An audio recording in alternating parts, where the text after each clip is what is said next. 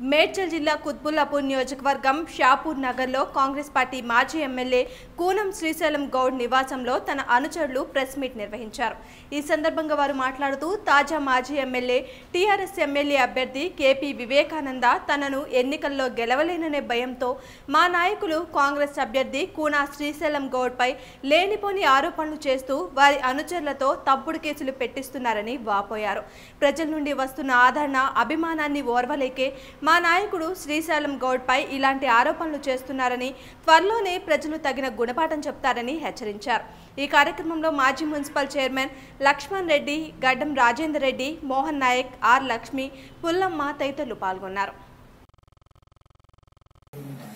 శ్రీశైలమన్న గారి మాజీ ఎమ్మెల్యే పైన ఇక్కడ ఒక నాయకుతోటి టిఆర్ఎస్ మాజీ ఎమ్మెల్యే ఒక కుట్ర పంది ఆయన దగ్గర ఉండి ఒక కేసు ప్రజలతో పోరాడలేక ఒక చీటింగ్ కేసు పెట్టాలని చెప్పి టిఆర్ఎస్ ప్రభుత్వం ఎంత దిగదారిపోతుందో మనం అందరం కూడా చూస్తున్నాం. ఎలక్ట్రానిక్ మీడియా వాళ్ళకు కూడా తెలుసు పత్రిక విలేకరులకు కూడా తెలుసు. ఇక్కడ ఉన్న పరిస్థితి పూనా శ్రీశైలంలోని తట్టుకోలేక చిన్న కేసులు పెట్టి ఇట్లా ఆయన ఇంకా ఉన్న అంచెలను భయపెట్టాలని చెప్పి ఇది చేయడం ఇది గుణపాఠం చెప్తారని చెప్పి ఇది చెప్తున్నాం. కాంగ్రెస్ నాయకులు ఇక్కడ పూనా శ్రీశైలం అభిమానులు ఎట్టి పరిస్థితుల మీరు ఇలాంటి తప్పుడు కేసులు ఎన్ని పెట్టినా మేము మా నాయకునితో ఉండి పోరాడతామని చెప్పి రేపు గతంలో కూడా మీకు తెలియజేస్తాం. మేమేంటంటే మీరు ఇప్పుడు కూడా ఎన్నో ఎలక్ట్రానిక్ మీడియాల జగ్గారెడ్డి గారు గాని అదేవిధంగా పూనా శ్రీశైలం గౌడ్ గారిని వాళ్ళ నాయకులే చెప్పారు కేసు పెట్టిన నాయకులు. ఏమని చెప్పారంటే శ్రీశైలం గౌడ్ గారు అంచలు మనం భయపట్టించారని చెప్పారు కానీ శ్రీశైలం గౌడు శ్రీనివాస్ గౌడు చెప్పిరని చెప్పలేదు. శ్రీశైలం గౌడ్ అంచెలు ఎంతో మంది ఉంటారు. ఇక్కడ దిగి ఫోటోలు దిగి ఫేస్బుక్లో పెడతా ఉంటారు.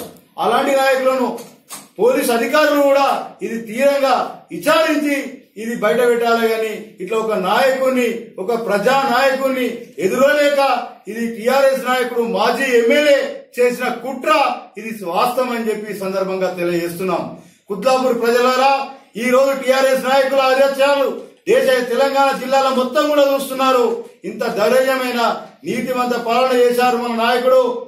నీకు ఐదు సంవత్సరాలు నాలుగు సంవత్సరాల నర నువ్వు ఎమ్మెల్యే ఉన్నావు. అప్పుడు లేని నిధులు ఈ రోజు ఎలక్షన్లను తట్టుకోలేక ఈ యొక్క చిన్న ఇది ఆరోపణ చేయడం చాలా మంచిది కాదని చెప్పి సందర్భంగా తెలియజేస్తూ కాంగ్రెస్ నాయకులు ప్రతి ఒక్కరు కూడా మా నాయకులందరూ కూడా మా నాయకుడి గురించి ఎలాంటి తప్పుడు ప్రచారం చేసినా మేము నిద్రపోకుండా ప్రజలపై తీసుకుపోయి మిమ్మల్ని ఎండగడతామని చెప్పి నువ్వు మా నాయకుని ఎదురులేక ఎదురులేక ఈ విధంగా తప్పుడు ప్రచారం పెట్టి నీది చక్కగా చూసుకో ఫస్ట్ మా నాయకుని మీద మీరు రావద్దని చెప్పి సందర్భంగా తెలియజేస్తూ కేసు పెట్టే వాళ్ళు కూడా విచారణ చేసుకొని నిజమైన ఏదో నాయకుడు రాగానే మీరు అట్లా తప్పుడు కేసు పెట్టొద్దని చెప్పి సందర్భంగా తెలియజేస్తూ